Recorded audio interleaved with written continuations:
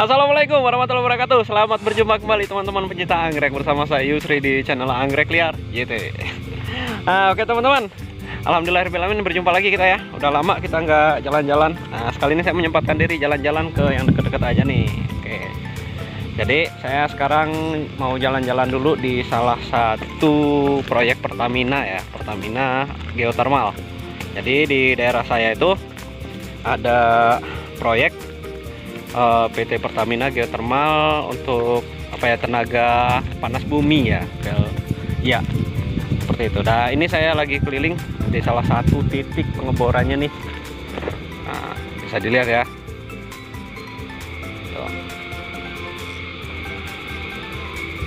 Jadi ini teman-teman salah satu kekayaan alam Indonesia ya yang apa ya tidak akan habis katanya.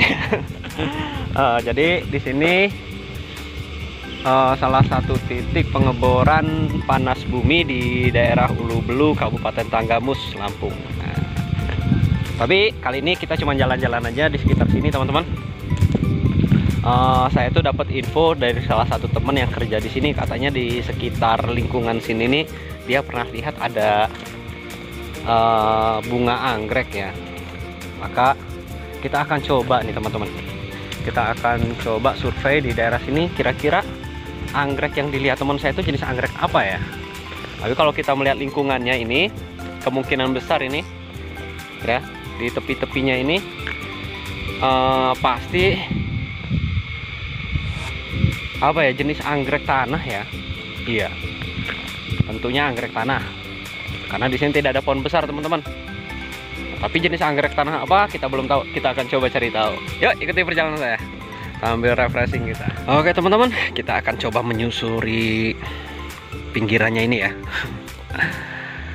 Nah teman-teman kalau kita melihat kondisinya ini paling mungkin nih kalau di daerah tempat seperti ini kita memang bisa menemukan jenis anggrek tanah ya. Dan jenis anggrek tanah itu uh, kemungkinan besar itu dari jenis patoglotis sepertinya. Nah nih betul kan? Kita langsung lihat nih ketemu nih daunnya nih. Nah betul sekali teman-teman. Ini salah satu jenis anggrek tanah ya. Uh, spatoglotis di sini tumbuh cukup subur teman-teman. Bisa kita lihat daunnya juga sangat besar lebar ya. Tapi kita belum ketemu yang sedang berbunga nih. Oh sepertinya ada itu yang sedang berbunga teman-teman. Kita coba tumbuh di dalam semak belukar seperti ini. Wow.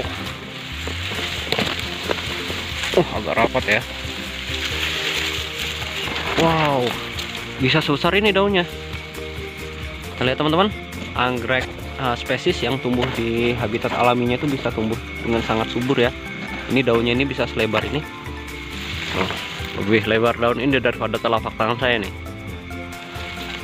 Dan ini bunganya teman-teman iya.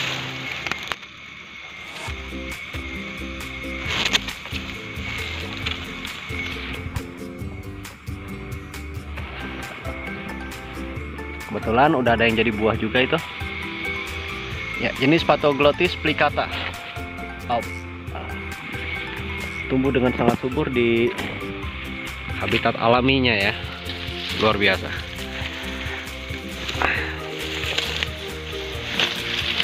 dan di sini juga banyak sekali nih anakannya ya. Nih. Sekilas seperti rumput liar tapi ini ada jenis anggrek ya. Jenis patoglotis plicata biasanya selain spatoglotis kita bisa menemukan jenis anggrek lainnya teman-teman. Ya.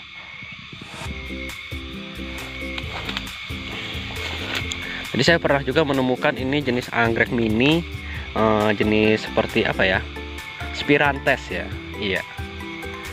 Spirantes itu anggrek yang sangat kecil sekali ukurannya dan cukup sulit untuk ditemui karena ukurannya sangat kecil. Nah ini ada juga yang sedang berbunga. Oh belum.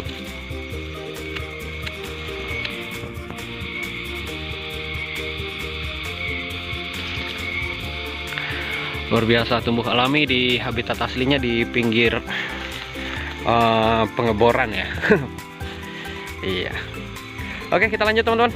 Mungkin kita coba keliling lagi. Siapa tahu kita menemukan jenis anggrek lainnya ya.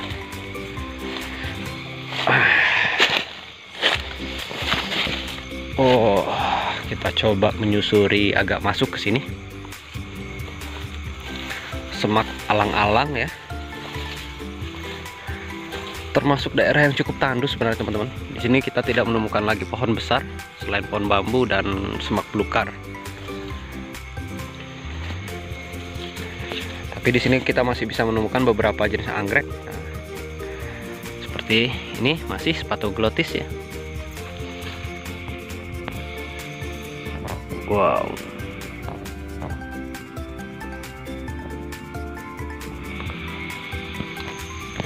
ada banyak sekali teman-teman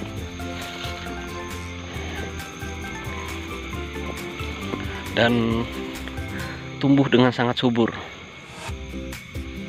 ya.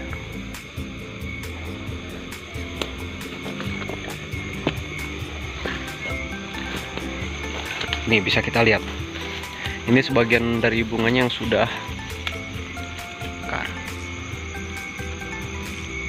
Wow, ternyata di sana, di jauhan sana teman-teman. Kita lihat itu, selain spatoglotis ternyata ada juga jenis anggrek. Apa itu? Coba kita dekati ya. Itu sudah berbuah, banyak sekali buahnya.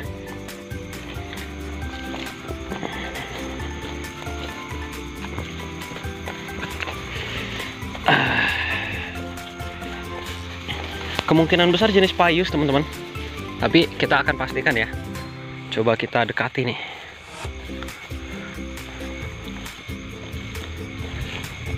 iya wow benar sekali ya teman-teman kita ketemu dengan jenis payus file. wow sudah menjadi buah dan buahnya sangat besar-besar sekali itu tumbuh bersamaan dengan spatoglotis Wah, ini lebih mirip hutan anggrek tanah ya. Oh, coba kita naik. Wow. Lihat teman-teman, ini buahnya sudah pecah ya. Nah, sudah tua dan pecah teman-teman. Dan ini menyebar. Nah, ini dia biji anggreknya nih. Jadi dia seperti bubuk putih serat-serat halus begitu teman-teman tuh ini biji anggrek ya. Dia akan menyebar mudah terbawa angin sangat lembut sekali dan jatuh di tempat yang tepat. Jadi wajar saja kalau anggrek itu mudah sekali menyebar ya. Terutama jenis-jenis anggrek tanah.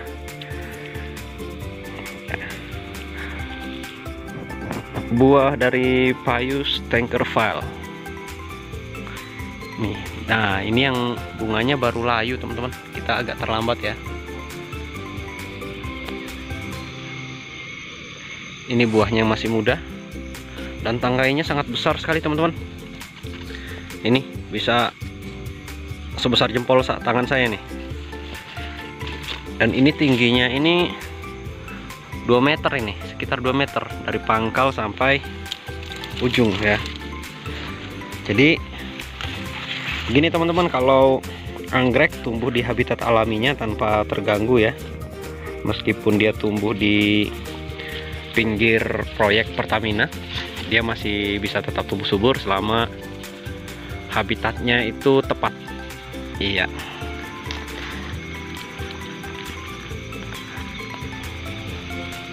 Luar biasa. Jadi kita sudah menemukan dua jenis anggrek ya. Nah, itu agak jauh tapi warna ungu juga spatoglotis sedang berbunga agak sulit mendekatinya. Oke kita coba melanjutkan perjalanan lagi teman-teman. Siapa tahu ketemu jenis anggrek lainnya ya. Wow.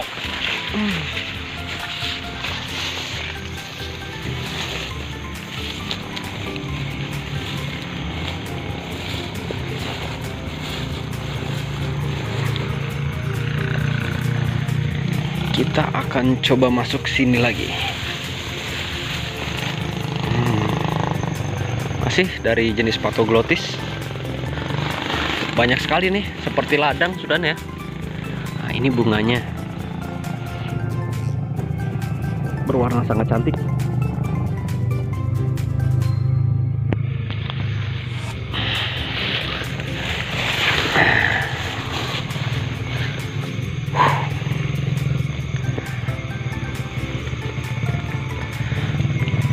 Meskipun di tempat yang bercada seperti ini teman-teman. Kita lihat tempat ini cukup dingin ya.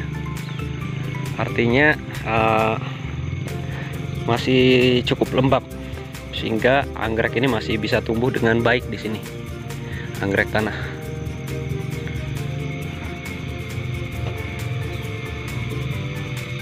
Nah wah teman-teman. Wih nggak sengaja ini. Bisa dilihat kita menemukan satu lagi jenis anggrek teman-teman dan ini saya sama sekali nggak nyangka ini. Wow. Cymbidium tepat sekali. Tapi dan ini buahnya. Dan saya nggak sangka teman-teman. Cymbidium tumbuh di tanah seperti ini. Wow. Luar biasa ini jenis Cymbidium bicolor teman-teman. Iya tepat sekali. Ini kalau kita lihat ini ada jenis dari Cymbidium bicolor ya. Sebenarnya ini adalah salah satu jenis anggrek epiphyt teman-teman. Tapi saya tidak tahu bagaimana ceritanya. Mungkin uh, bijinya ya jatuh dan tumbuh di sini. Wow cantik biasanya saya menemukan ini itu di pohon-pohon besar teman-teman. Iya. Intinya uh, dia biasanya tumbuh menempel di sela-sela pohon. Dan di sini saya ketemu dia tuh bisa tumbuh di tanah seperti ini ternyata. Kita lihat. Nah.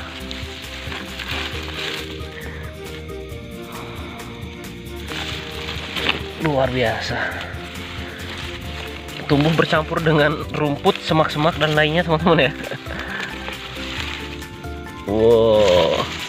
Nih berbarengan juga dengan spatoglotis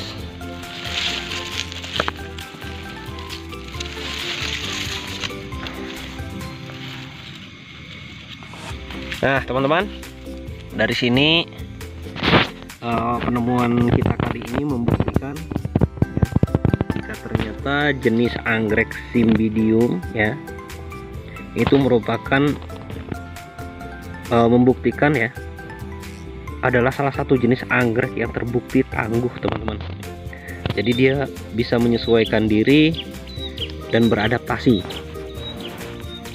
Jadi meskipun dia jatuh di tanah cadas seperti ini tanah yang berpasir dan berbatu seperti ini ya ternyata dia masih bisa tumbuh dengan sangat baik luar biasa. Cymbidium bicolor wow. Nah.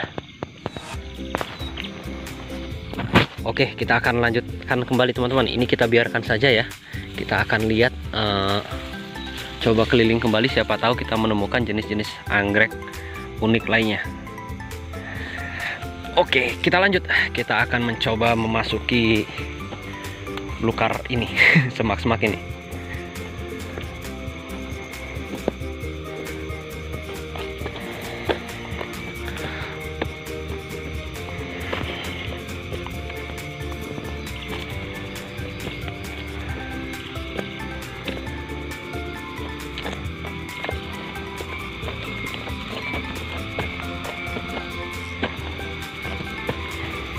Nah itu kita lihat teman-teman.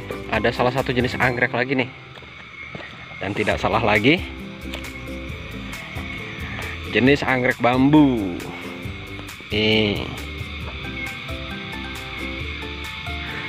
Cuman di sini karena tempatnya cukup terbuka Daunnya agak kekuningan teman-teman ya. Sepertinya overhead ini Terlalu banyak sinar matahari. Dan ini buahnya lebih besar dibandingkan dengan buah apa Cymbidium eh Cymbidium buah Spatoglotis tadi ya. Sedikit lebih besar. Dengan bentuk yang sama. Cuman sudutnya ini lebih apa? Tidak terlalu tajam. Bergaris seperti itu. Buahnya masih muda teman-teman. Dan ini yang sudah pecah. Mungkin uh, beberapa tahun kemudian kita akan melihat sekitar sini ini menjadi ladang anggrek tebu nih ya. Eh anggrek tebu anggrek bambu. Iya. Ini kita lihat cuma ada satu batang ini tapi bibitnya ini sudah terbesar uh, tersebar luas ini pastinya. Dan di sini teman-teman selain anggrek bambu kita menemukan lagi nih. Sama seperti tadi nih. Jenis payus sekarang. Nah, payus tanker file ya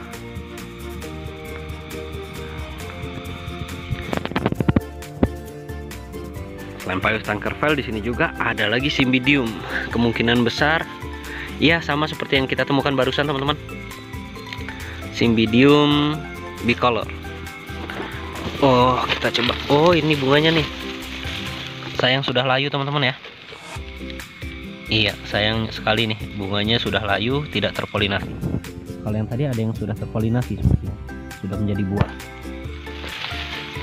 Wah, luar biasa.